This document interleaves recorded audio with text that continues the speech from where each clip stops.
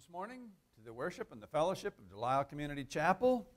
If you are here today, please relax, enjoy the presence of Jesus. He is here. He loves you, and so do we. Now, these are interesting times. We continue to work our way through this long running COVID pandemic, and uh, we have some people here in the sanctuary at the church and others watching from home or wherever. We're going to start today, for the first time since all of this began, to have junior church. And I know we have a number of children with us today who are excited about. So after the music, we're going to call you forward. We're going to have a prayer for you the kids and for the teachers. And then when you go down to junior church, you're going to go down through this door, all right? And go on downstairs. We need to be careful to self distance as children as well as adults. Of course, family groups can be together, and we see that we do have families sitting together this morning. Also, this morning, we have an interesting situation in that. Uh, Carlin and Laura Lee, who usually provide music for us, are not here today. They got a call this morning that uh, all of their cattle are uh, out. And uh, so they're out uh, on a roundup today. And we hope that that goes well. You know, life is full of its twists and turns, as every one of us sometimes learns, in the words of the poet. So uh, we're going to make the best of this situation. We're going to have music that's been prepared by others, and we're going to use that in our worship time today. I am going to read this morning Psalm 25, verses 1 through 10. And it goes like this In you, Lord my God, I put my trust. I trust in you. Do not let me be put to shame, nor let my enemies triumph over me. No one who hopes in you will ever be put to shame. But shame will come on those who are treacherous without cause. Show me your ways, Lord. Teach me your paths.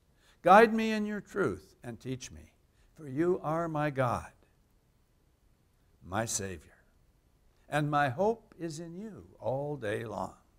Remember, Lord, your great mercy and love, for they are from of old. Do not remember the sins of my youth and my rebellious ways. According to your love, remember me, for you, Lord, are good. Good and upright is the Lord. Therefore, he instructs sinners in his ways. He guides the humble in what is right and teaches them his way. All the ways of the Lord are loving and faithful toward those who keep the demands of his covenant. This is psalm from God's Word, and I believe it expresses much of what we know to be true in our own lives. Let's pray. Father God, we want to thank you for this Sunday morning. Another day, another gift, another opportunity. Here we are to worship you and to fellowship with one another and encourage one another in the process. We ask God that this hour together would be something that would prepare us for the week ahead, to be the people that you created us to be, to be a blessing to others, to serve humbly and experience the joy and happiness that come as a result. Through Jesus Christ our Lord, we pray. Amen. Have more children with us today. We have missed you guys when you're not here. And today, I know you've come largely because you know that today is the first junior church of the fall season. So, what I'm going to do before we send you out is I would like to pray for the kids and for their leaders. Would you bow with me in prayer? Father God, I want to thank you so much for the children. Thank you that they are not only the church of tomorrow, they're such a very important part of the church today. We pray that you would bless them in their special time together. Be with their leaders. Help Becca, especially as she coordinates our junior church program. Provide her with all the teachers and helpers that are needed to do the job right for our kids. We want to make sure that they receive a good, strong Christian education, that they learn early in life that Jesus loves them and church is a happy place. Bless them now as they go downstairs. Make their time as special, as precious, and as meaningful as that of the adults upstairs.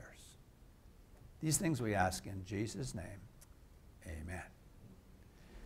So, kids, we're going to dismiss you now for junior church, but we want to do it in a, in a careful way. So, we're going to have one of your leaders come and hold the door open up here because you're going to go down this way.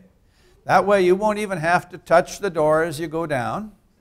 All right, and we'll just leave some spacing between each one. And children, all those junior churchers, come on down. There you go. God bless you. Come on, girls, aren't you coming? Yes, indeed. All right. Wonderful. There come a couple young men wearing their masks. All right.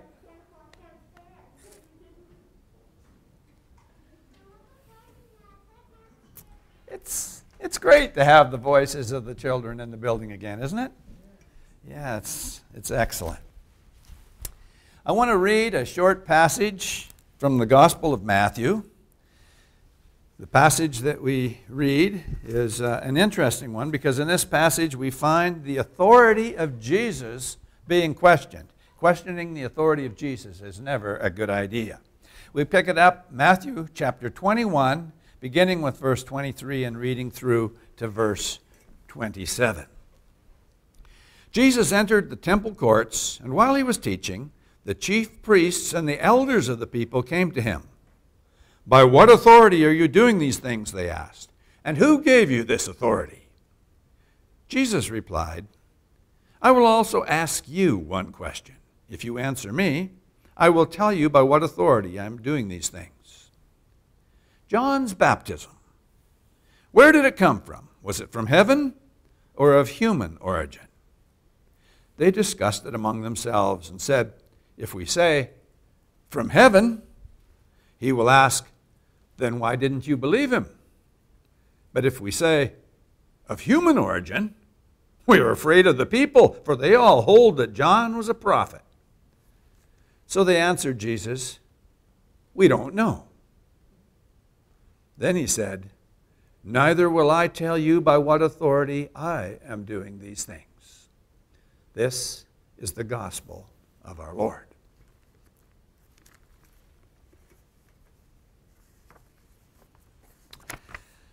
The message that I have for you today, I have entitled The Path of True Happiness. Everyone wants to be happy.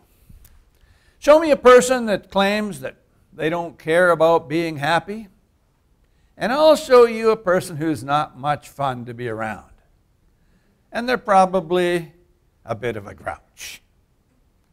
Now, the American Constitution states that everyone has a God given right to the pursuit of happiness. But the pursuit of happiness does not guarantee a happy life. People have all kinds of ideas about what will make them happy. Young people think that if they just had the right girlfriend or boyfriend, then they'd be happy. Some people think that if they just had a better car or a nicer house, they'd be happy. Some people think that if they could just finish school, they'd be happy. Or if their kids would listen when they tell them what to do. Then they'd be happy. All kinds of things that people anticipate could make them happy. You know, if they were just rich and famous. But look how that works out for some folks who are rich and famous. It doesn't guarantee happiness. Happiness is such an elusive thing. It has a way of staying just out of reach when you pursue it. However, there is a path which leads to happiness. If you will follow it, you will find that happiness is found not just at the end of the path, but all along the way. The path of true happiness is laid out in the Apostle Paul's letter to the saints in Philippi. Although the Philippians were the original recipients of the letter, it was written for our benefit too, wasn't it? If that were not so, it would not have been included in the Bible. All of the scriptures are written for our benefit. As I was studying Philippians chapter 2 and preparing for the message this morning, I was amazed at how clearly a particular Bible class that I attended years ago came back to my mind. I remember sitting in college under the instruction of one of my heroes, Herbert Peeler, who was the principal of Miller Memorial Bible Institute, now called Miller College of the Bible. He was a great man of God and a wonderful Bible teacher. And Philippians, the book of Philippians, was his special love. And I can remember him pointing out to us that in the book of Philippians, the major theme and focus is on one little word. The key word in Paul's letter to the Philippians is joy. The word joy and its derivative, rejoice, are found repeatedly throughout this letter. Now, some people go to great lengths to explain the difference between joy and happiness. But the two words are synonyms, which means that they have much the same meaning. They mean pretty much the same thing. I want to be happy and joyful. Don't you? I want to be joyful and happy. And if you want to be joyful without being happy, well, I guess that's up to you. But I must caution you, it's very hard to do. Today I want to take you through Philippians chapter 2, where together we will discover the path of true happiness. Philippians chapter 2. The first four verses read this way Therefore, if you have any encouragement from being united with Christ, if any comfort from his love, if any common sharing in the Spirit, if any tenderness and compassion, then make my joy complete by being like minded, having the same love, being one in spirit and of one mind. Do nothing out of selfish ambition or vain conceit. Rather, in humility, value others above yourselves, not looking to your own interests, but each of you to the interests of others. Now, before we go further, I want to remind you that this letter was written to people who are saints. What is a saint? A saint is a Jesus follower. People who have a relationship with Jesus that is real and personal. Now, if that includes you, then this message is written to you. If it does not include you yet, I have good news for you you can make a decision today to follow Jesus, to confess your sin, to receive his forgiveness, and to become a child of God, a saint. The chapter begins with a little word, the word if.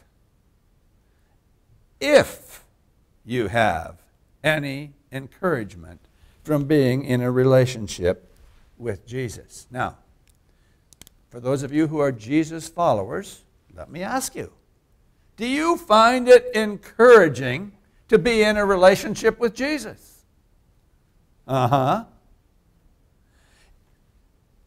Does the love of Jesus provide you with comfort? Sure, it does. If you know that the Spirit of Jesus is with you and within you, does that inspire tenderness and compassion for others as a result?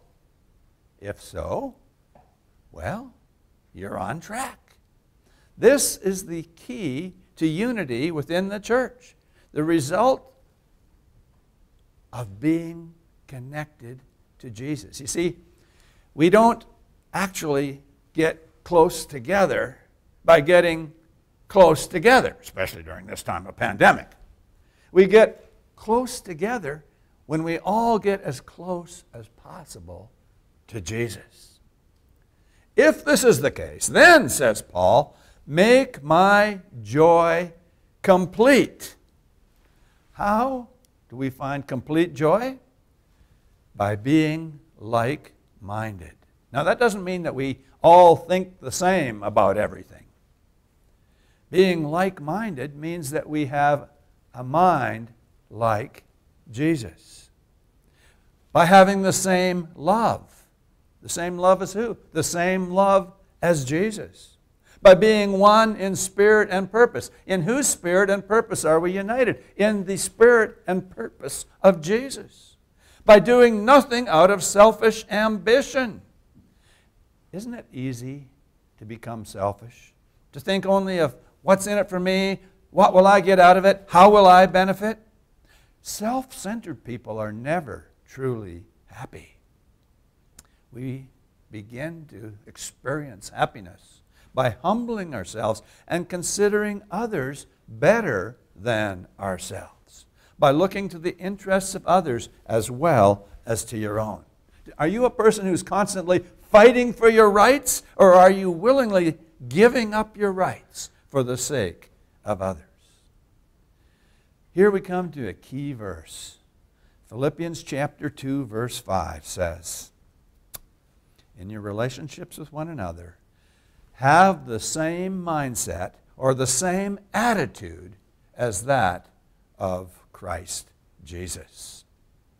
Wow we have the mind of Christ, the love of Christ, the spirit and purpose of Christ, who humbled himself and put the interests of others ahead of his own.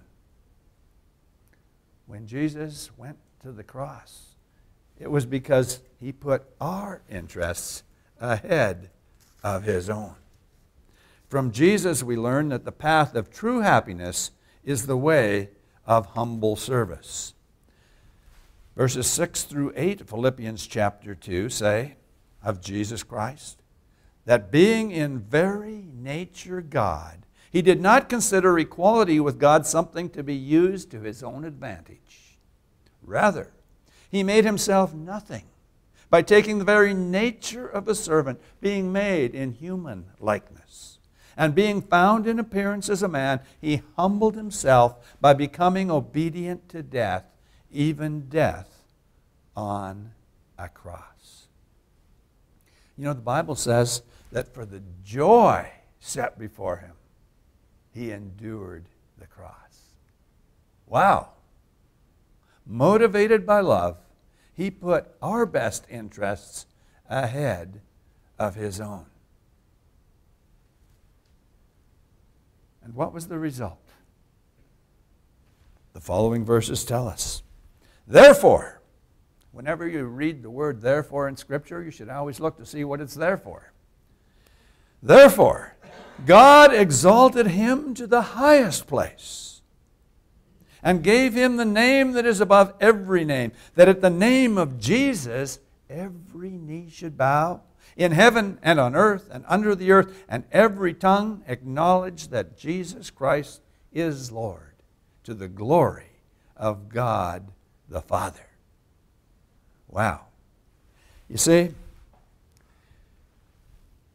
the joy that Jesus experienced was the result of putting the interests of others ahead of his own.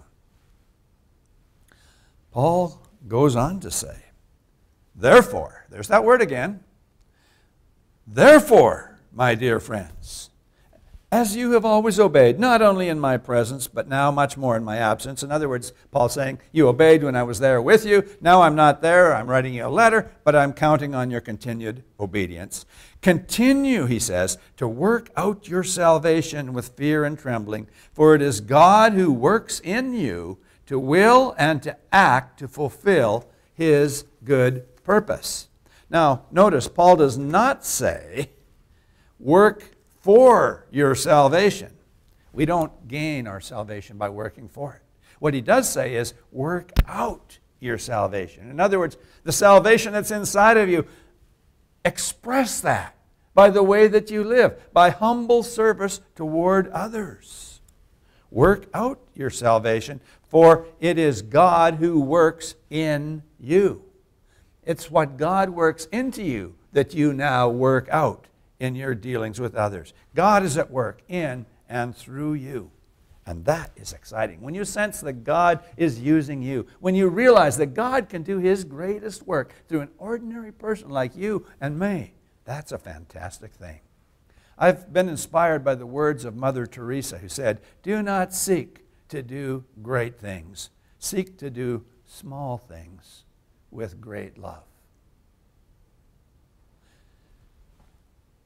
Have you ever heard of a man known as Brother Lawrence? Brother Lawrence lived from, well, some places they say 1611, and other places say he was born in 1614.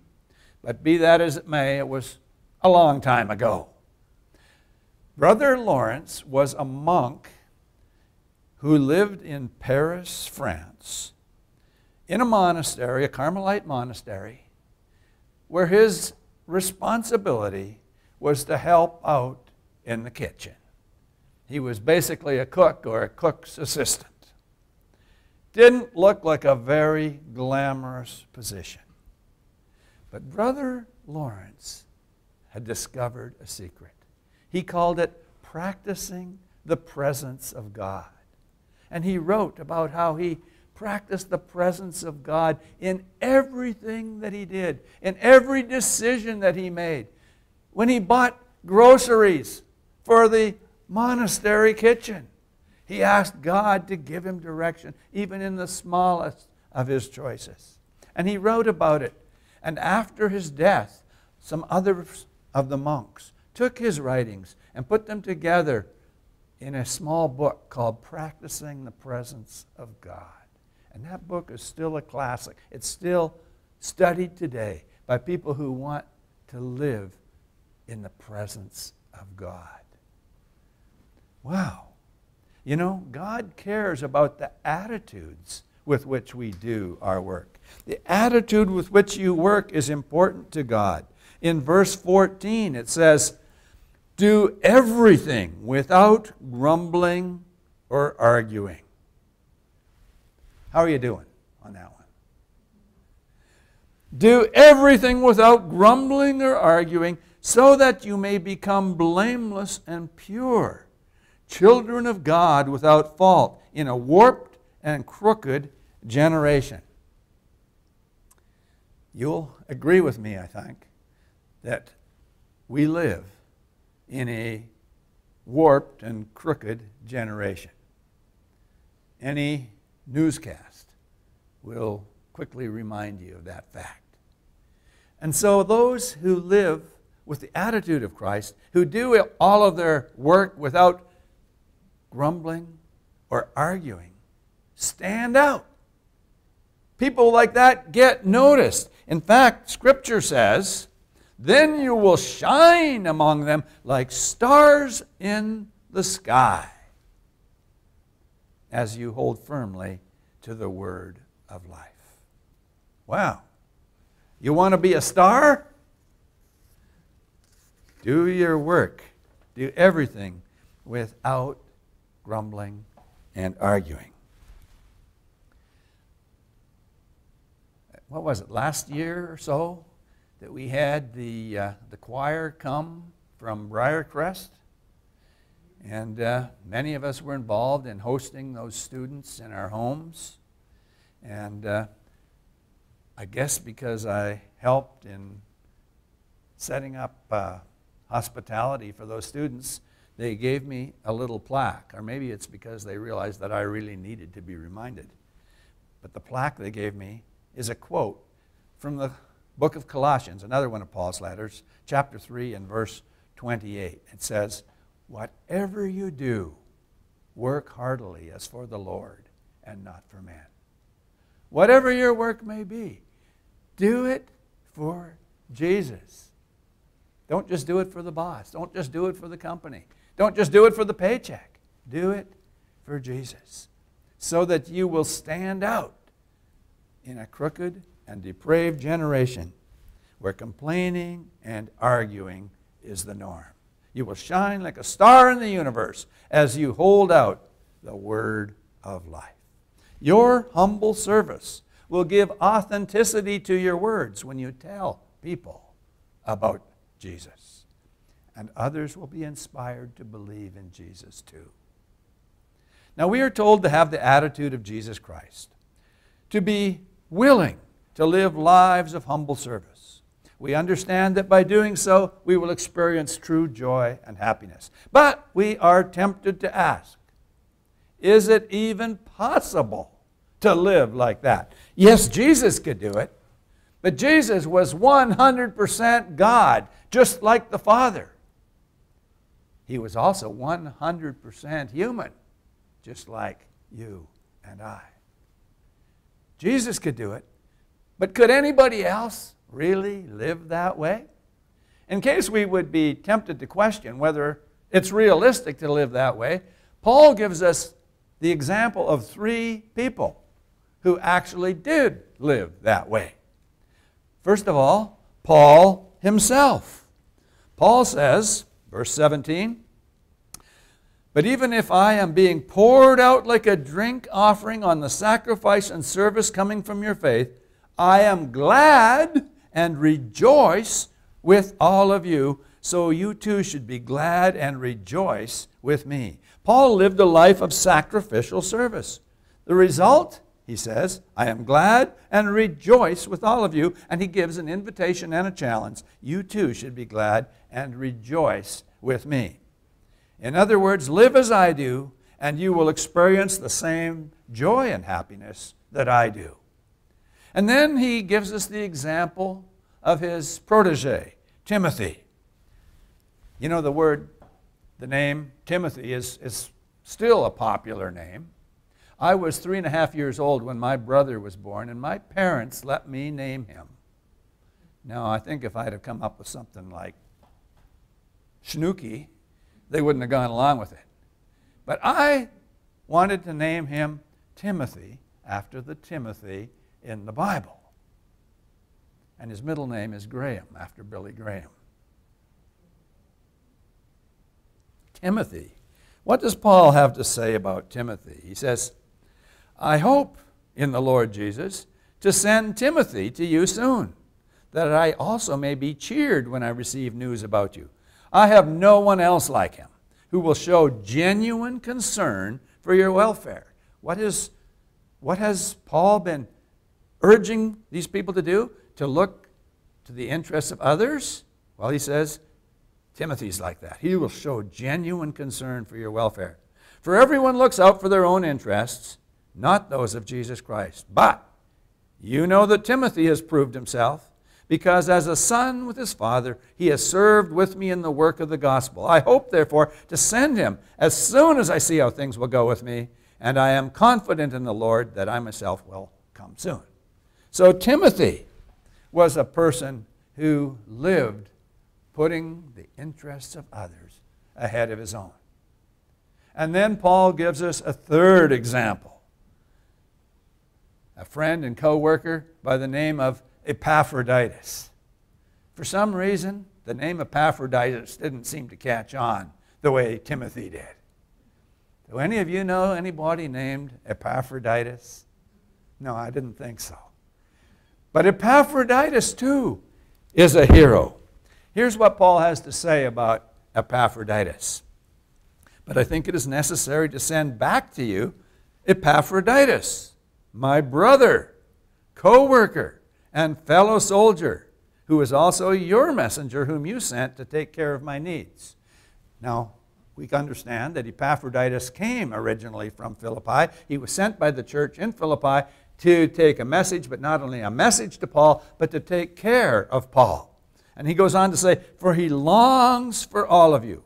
He's away from home. He's looking forward. He's missing the folks back home. He's distressed. And why is he distressed? Because you heard he was ill. He wasn't nearly so concerned about the fact that he was sick as he was about the fact that other people were worried about the fact that he was sick. Indeed, he was ill, says Paul, and he almost died. But God had mercy on him, and not on him only, but also on me, to spare me sorrow upon sorrow. Therefore, I am all the more eager to send him, so that when you see him again, you may be glad, and I may have less anxiety. So then, welcome him in the Lord with great joy. There's that word again and honor people like him because he almost died for the work of Christ. He risked his life to make up for the help you yourselves could not give me. Wow. This Epaphroditus was a hero. He was willing to risk his life to serve others. I got to thinking when I read about Epaphroditus. During this COVID pandemic, are you so protective of your own health that you fail to minister to others? Now, I'm not saying we should be reckless or careless. We should take proper precautions. But it's also necessary at times to take a risk in order to serve. Today, I want to challenge you to follow the path of true happiness, the way of humble service, modeled perfectly by Jesus, modeled by people like Paul and Timothy and Epaphroditus and Brother Lawrence and Mother Teresa. And you could add to the list some of the people you know who live that way, finding happiness and joy as they serve others in the name of our Lord and Savior, Jesus Christ. Amen. Let's pray. Father, as we've worked our way through the second chapter of this letter to the Philippians, we realize it's also a letter to us. Jesus, we want to have your attitude. Your very life within us makes it possible. Your spirit your spirit lives in us. And so we can and we will live lives of inspiring service, putting the interests of others ahead of our own. Thank you for the example of Paul and Timothy and Epaphroditus and so many others, saints through the years who have put Jesus first, others second, and themselves last. It is in Jesus' name we pray. Amen.